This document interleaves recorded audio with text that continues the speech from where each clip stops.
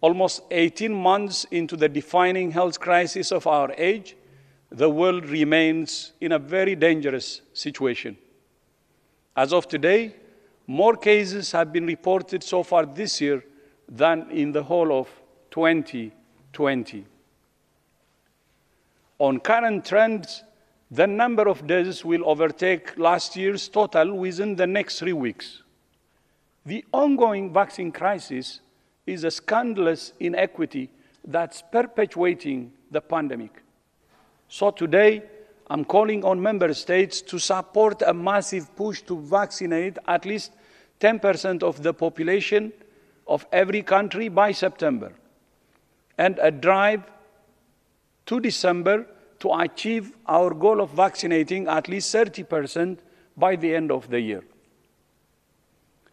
This is crucial to stop severe disease and death.